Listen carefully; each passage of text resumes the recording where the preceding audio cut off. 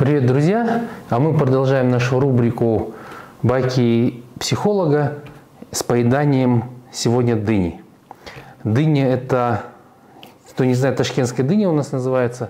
В простонародье ее называют торпедой почему-то, видимо, из-за ее формы. А, мы как-то пытались объяснить, у нас друг есть этот, и он говорит, почему торпеда, иностранец он. Я говорю, ну, наверное, из-за формы, а так, ну, непонятно. В общем, это, сейчас при, при вас буду все резать, я не знаю, она должна быть очень вкусная. Вот, сейчас попробуем, разрежем ее вот так. Мы будем потихоньку разные фрукты, разные поедать блюда. Может быть, когда-нибудь решимся и запишем видеоролик с приготовлением чего-нибудь несложного, потому что из меня повар так себе. Вот. У ножа лезвие короткое. Вот так. О, смотрите, какая дыня. Еще огонь. Вот, и вот. У нас, по-моему, здесь она с каким-то... Сейчас посмотрим. Так сделаем. Так. Почистим от семян. Она, кажется, этот с каким-то тараканом или как это? С червем. С червяком, кажется. А нет, это... Ну, короче... Ну-ка, нормальная.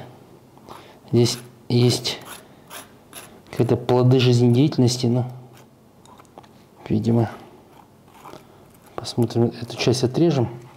Не будем ее поедать. Вот, и вторая. Это чище. Вот здесь кусочек зацепила. Тоже. Так. В я не знаю, здесь вроде никого нету, но э, это то ли она чуть подпорченная или что. Сейчас мы всегда, знаете, вот так есть шанс на то, что вроде все хорошо, а что-то подпортится. И это же так и у людей. Все как в жизни. Вот. Бывают хорошие люди, они игроманы, наркоманы, алкоголики. А, и казалось бы, что такого, да? Если честно, я не разбирал как-то женщин-наркоманок, или вот как-то ну, сильно не попадались, или я, честно говоря, причины их не знаю, но это всегда от избегания этого реальной жизни, это чаще всего это тогда, когда человек срывается, у него депрессия и так далее, да, то есть у него почему-то вот этот механизм какой-то срабатывает, и он начинает быть таким человеком. Потом Чаще всего все равно у нас и в обществе, или может быть у меня в голове есть какой-то стереотип, что к таким вещам подвержены чаще мужчины у нас почему-то, да, то есть к наркомании, алкоголизму, хотя я думаю, что алкоголики женщины тоже есть, и громанки, да, но чаще мы слышим страдания женщины от мужчины, ну я слышу страдания женщины от мужчин, которые играют, и непонятно, я как-то записал ролик, знаете, вот этот Reels, в Инстаграме, что типа э, мужчина, когда скрывает там долги или что-то там этот, и финансовые свои вопросы не посвящает женщину, то это, э, как бы, ну, это, это достаточно по-мужски, это на самом деле правда, но бывает так, что он играет и скрывает. Вот, вот это, наверное, не очень. Но, хотя это, как бы к этому ни относились, но не посвящение а, женщин свои проблемы, это все равно, это, ну, мне кажется, это, это больше мужская вещь, потому что натворил делов, разбирайся, да, то есть, но надо решать, если натворил, надо решать. Нельзя как бы, отрекаться от этого, от проблемы какой-то, и нужно прям садиться и решать эти проблемы.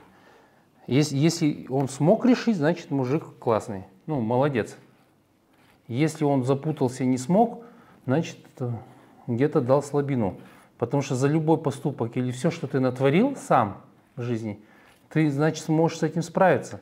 Потому что ты на уровне своем понимании совершал эти э, какие-то деяния, которые повлекли за собой э, определенные последствия. И ты на каком уровне ты их совершил, на том уровне ты можешь решить. Бывает иначе, да, вот люди такие, о, он проиграл там две машины, три машины, там два дома, там еще что-то проиграл. Бывает и так, но я вам скажу так, что э, чаще всего, когда проигрывают квартиру, особенно или там их три, то этому человеку неоднократно помогали, да, то есть помогала мама, помогали родственники, братья, сестры помогали. И человек, он просто не понимал, он не проходил свои уроки, и он, значит, продолжал дальше вести тот образ жизни, который вел до этого. Вот и все. И он совершал один проступок, второй проступок, и так он вот запутался. И чаще всего такие люди, которые скрывают от жены такие проблемы, это из-за того, что мама спасала, да, там мама там даст денег, там он там машину выкупит, квартиру выкупит, за кредит какой-то оплатит. И эти проблемы растут, как снежный ком. И в момент, когда человек не может рассчитаться со своими долгами, когда уже у мамы денег нету, у братьев нету, когда друзья уже не могут помочь, да, и только в этот момент, когда судебный исполнитель приходит забирать квартиру, жена об этом узнает. Это, конечно, очень ну, нехорошо. Но начинается это от того, что э, от вранья, да, то есть человек хотел то есть человек совершил проблему, ему не дали с ней справиться, да, в виде там, помощи родственников, там, мамы, папы или кого-то, и он залазит в новые долги, и у него опять выкупают, он опять в новые. И, и поэтому он в это колесо входит. И для того, чтобы человек остановился, его нужно бросить, его не нужно выкупать потом. И у меня был такой кейс, когда приходит девочка, она говорит – вы знаете, у меня родной братишка играет, да, и он проиграл уже моих две квартиры. И вот у меня сейчас одна осталась, третья квартира, и он говорит, чтобы я продала, потому что якобы его убьют, если он не рассчитается. Что мне делать? Я ей тогда сказал, ты знаешь, чтобы вот это, ну не продавай, все, хватит. Ты две квартиры посвятила ему, хватит, не отдавай. Она говорит, его убьют. Я говорю, ты знаешь, ну, выкрутиться. То есть ты поймешь, что он, он, ты должна поверить, что он сможет. И через месяц она, когда пришла на, ко мне опять, и она такая счастливая, большое вам спасибо. За месяц человек отдал долги, за месяц устроился на работу, и у него выровнялась жизнь. Да? И это почему? Потому что нужно было не помогать. Конечно, если бы она опять квартиру продала бы, это бы чуть затянулось на год, она бы закрыла, он бы опять попал, и когда они с голой жопой бы остались бы вдвоем на улице, и он бы сделал бы то же самое. Возможно, ей, она могла и не продавать предыдущие две квартиры, если бы она его сразу ограничила. И все. Это вот такой кейс. У меня есть еще один кейс такой, знаете, очень хороший, когда вообще я думал, что ну, чаще всего мама ограничивает да, сына там, и не дает ему там расти, жить, там сепарации нету. А тут был такой случай, когда отец не давал. И было очень интересно. В общем, дыня вот такая. Сейчас я расскажу еще. А, давайте попробуем.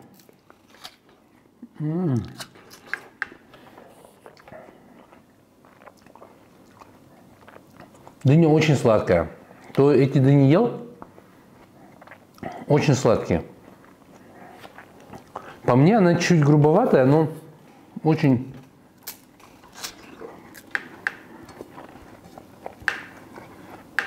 Мне больше нравятся эти колхозницы. Они прям медом, медом пахнут. Это сладкая, но у нее структура такая немножко почти огурец, да? Но вкусно.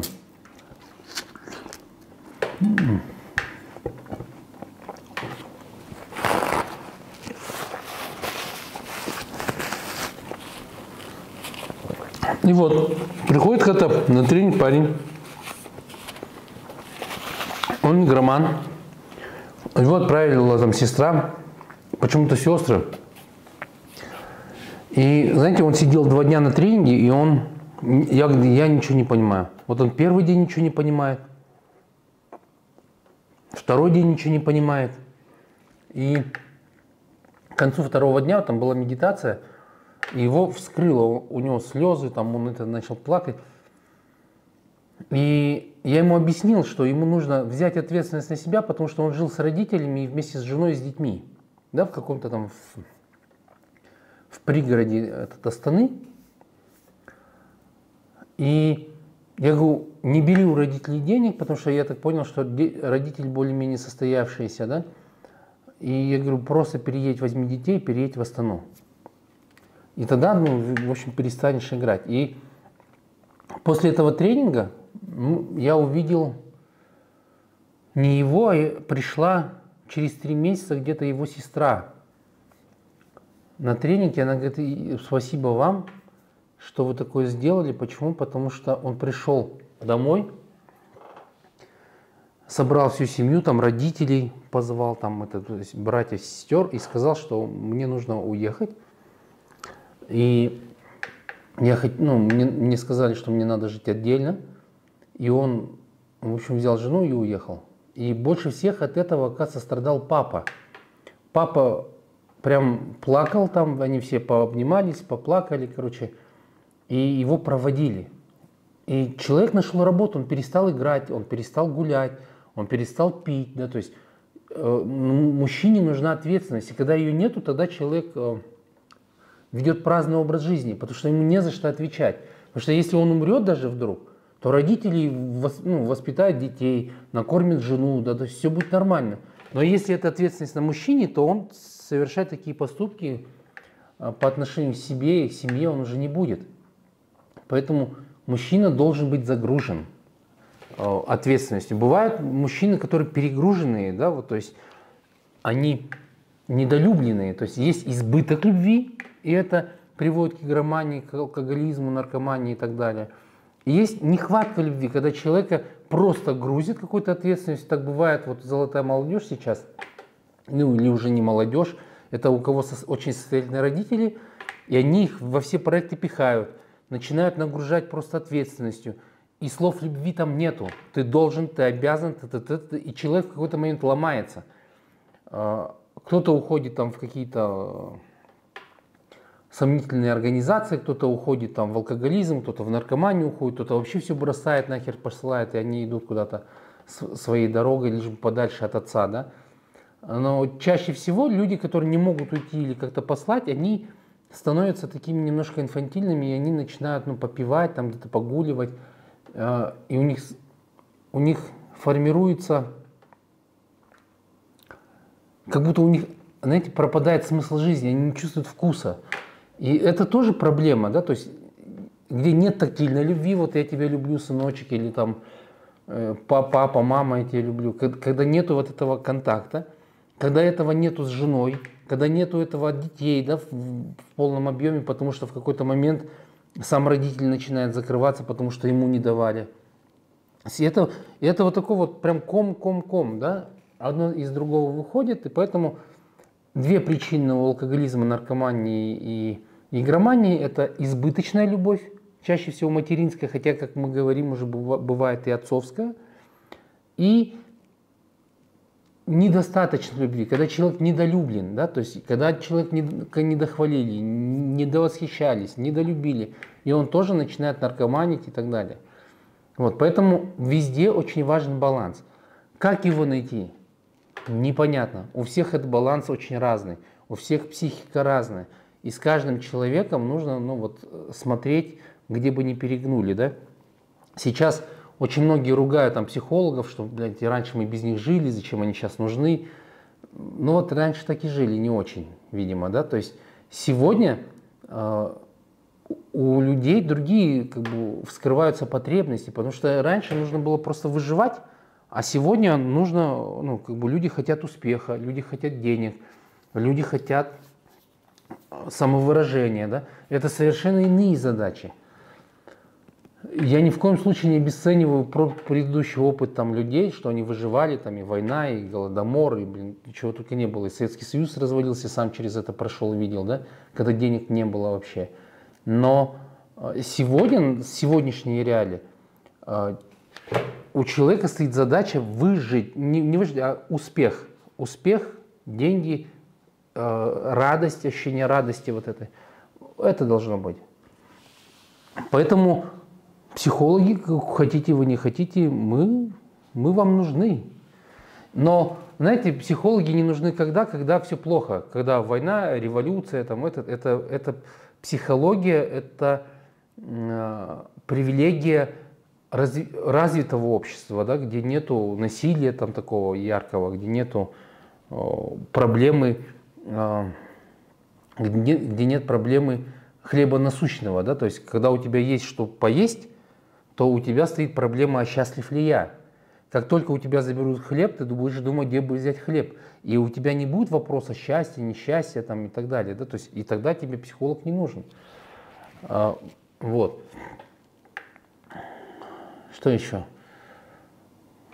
Давайте еще покушаем, а я пока шук-шук-шук-шук-шук. Кстати, нож. Вот. Видите, какой прикольный. Это спайдерка, кто, кто знает. Это мой карманный ножик. Я его ношу, когда куда-то на природу выезжаю. Такой кухонник интересный.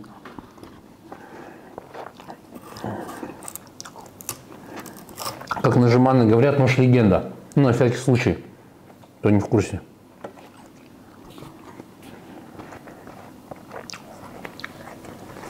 М-м.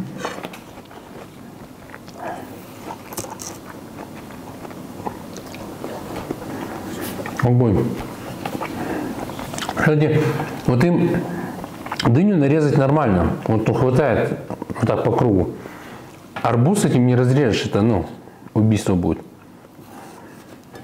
Надо будет ломать. Хотя у нас вот здесь вот излом был, вот здесь где-то не достал я, видимо.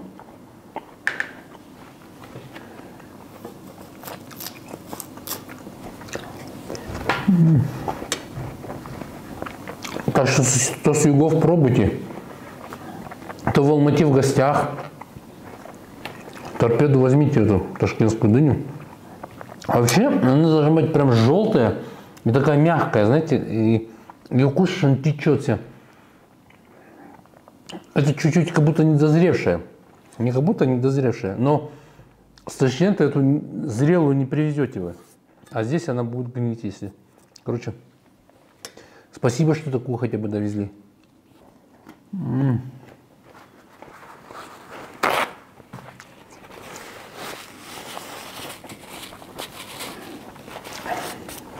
А как-то, знаете, приходит игроман. Это вообще, я думаю, ты вот, ну, кроме, я думаю, ты дебил, нет. Короче, приходит чувак, его приводит жена. Говорит, он тебя почистит, будет все хорошо, типа не будешь играть. Он пришел первый день на сессию, я его почистил, и он ушел. Приходит на следующий день и говорит, я думал, вы мне поможете, а вы, оказывается, не помогаете. Я говорю, с чего ты взял? Он говорит, я вчера, короче, этот дебил продал дом где-то там в, в пригороде и взял с собой 70 тысяч долларов, что ли, сколько, вот, короче, сколько стоил дом, он взял эти деньги, пришел ко мне на сессию, почистился для масти, сука, вот дебил, нет, вот сиди, я сам открою. И поехал в казино в Копчегай. И чего вы думаете? Все деньги туда, салам алейкум, как Рамзан Кадыров говорит, Ахматыч. М? Нормальный вообще человек?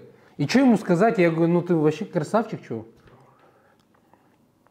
И он вот теперь я не знаю, что делать, где мне взять деньги. И это, бля, уже не мои проблемы. Плати за сеанс, иди домой, больше ко мне не приходи. То есть, ну, есть вот, ну, прям неадекваты люди, да, то есть они ловят какую-то масть, они хотят все каких-то денег непонятных. И чаще всего мы сейчас замечаем вот, эти, вот, вот такие поступки какие-то. Опять же, это эмпатичные мужчины, да, это мужчины, воспитанные чаще всего мамами. Это не всегда там, когда бывают, конечно, и у, у отцов там какие-то проколы, да, серьезные, но чаще всего в жизни так бывает, что эмпатов воспитывают мамы. Что это значит? Это мамы, которые постоянно подтирают за ним жопу, да? Это вот это знаете, когда ребенок идет, обосрался, снимает трусы, из них выходит, идет дальше, поворачивается, и их уже нету, да? Это называется инфантильный гедонизм. А, что это значит? Когда человек хочет получать что-то, ничего не делая. И когда, но это очень часто с этим перебарщивают мамаша, да, то есть э, ребенок какую-то дичь совершает, она его спасает, она его этот, ребенок потом вырастает. Ладно, там в, в Турцах говно, но когда ребенок вырастает, первый раз его побили, или он побил, она его откупает от ментов, потом дальше там он растет там, за девочкой бегает его там еще, она начинает там какие-то с ее мамой интриги там что-то плести, чтобы ему девочка досталась. Потом я это видел сам, да, на, свои, на примере своих одноклассников или однокурсников, когда в отношения людей влазили мамы. Они еще не женаты, они просто встречаются. И вот это постоянная гиперопека мамы, это просто трэш. И из-под, из-под нее выйти очень сложно. И, и ребенок вот так он ходит, ходит, и потом этому, знаете, в аптеку такие мамаши приходят, говорят, не могли бы вы, вот для ребенка мне вот нужно лекарство. И когда я спрашиваю, а ребенку сколько лет? 40, блядь. Да, то есть и у, у этих фармацевтов шок просто, ребенку 40 лет. Ребеночку нужно лекарство, понимаете? И это мамаши, они любую вот девочку хорошую, супер хорошую, они просто ее изрыгнут из своей семьи. Они никогда не примут. Мама всегда будет против. Всегда какие-то какие, какие бляди приходят, понимаете? То блядь, то шалава, то проститутка, то еще какая-нибудь нехорошая, то стерва. Никогда у такого мужчины не будет женщины, которая понравится его маме. И мама даже допускать ее не будет. И вот это на самом деле большая проблема. И для невестки, если она решилась такая, ну вот такая смелая, да, там люблю, не могу, трамвай подарю. И для самого сына это очень пагубно. Для мамы тоже, да. Но там еще страдает папа, да, от, от невнимания мамы. Потому что внимание мамы все на сыне. И вот это очень тоже большая проблема. И таких, таких пар и таких мужчин ну, как бы, очень много, которые завязаны на своих мамах. Бывают женщины, девочки завязаны на отцах, но это я встречал очень редко, но эти девочки очень такие, знаете, они боевые, жесткие, они больше пацаны, чем девчонки. То есть у них понятие, прям у них этот.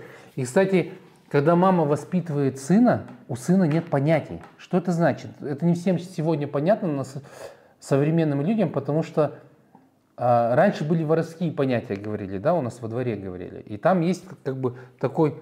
А, как, как его называли, кодекс, кодекс чести, который человек должен был соблюдать. Да? Не верь, не бойся, не проси, помните? И, и ты по нему рос. Были определенные правила, по которым ты растешь. Вот это мужчина должен делать, вот это не должен. Пацаны так, настоящий пацан так не делает, во дворе говорили. И вот э, у мальчиков, которые взращены э, мамами, вот этих понятий нету. То есть у них нету, этот пацан так не делает. Да, ему в моську дали, он пошел, ментов вызвал. А у нас это называют, ну, как бы, в наше время говорили терпило, да, затерпел. И это было очень неуважительно, с тобой вообще потом никто не, не общался во дворе просто. И тебе не с кем было ну, общаться и это, коммуницировать. С такими не разговаривали. Это сегодня вот, ну, из-за гиперопеки мамы вот так все друг на друга пишут заявления. Я так понимаю, что сейчас время будет вот эмпатичных мужчин.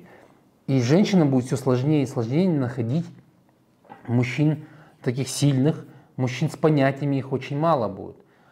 И, и наоборот, женщин, вот женщина-женщина это тоже проблема, потому что прям чтобы женщина была женщиной, это редкость сегодня тоже. Как мужчина должен быть мужчиной, мужчина-мужчина, их очень мало. И, и, и женщина-женщина, таких сегодня еще будет меньше и меньше и меньше с каждым днем. Почему? Потому что женщина становится сегодня эмансипирована, женщина забывает функции женские и больше входит в функции мужские. И выполняя мужские функции, женщина перестает, перестает быть женщиной. И это правда. И ни, никакому мужчине настоящему не нужна женщина с хером. Да?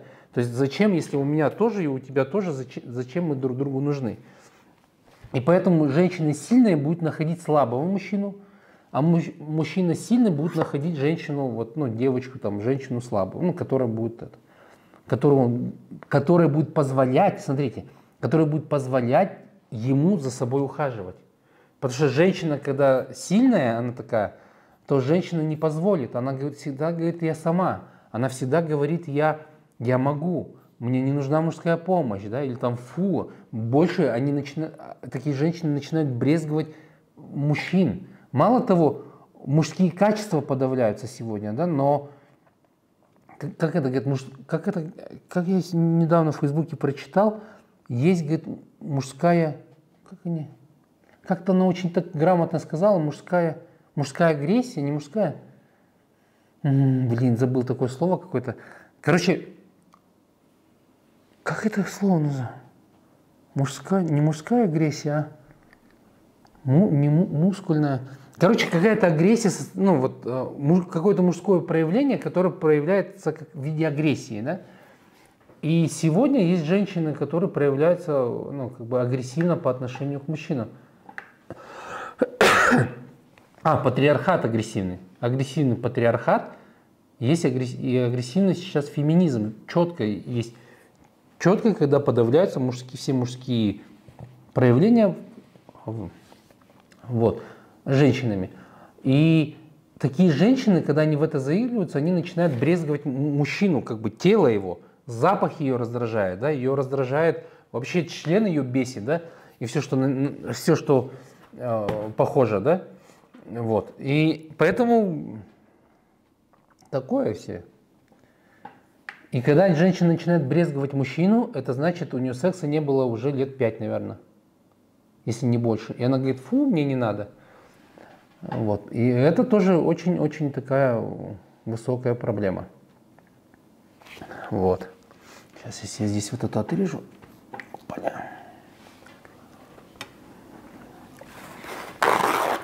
М-м.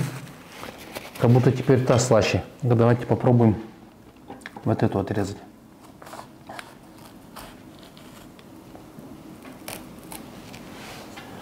Вот эту давайте отрежем теперь.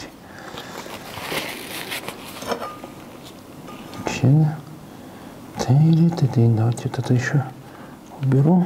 В общем, друзья, всем большое спасибо, что вы смотрите эту рубрику. Я вам очень сильно благодарен. Будут еще записываться новые видеоролики. Задавайте вопросы в комментарии, мы осветим все темы, которые тебе интересны. Нажми на колокольчик, поставь пальчики вверх и пишите комментарии. Пока-пока.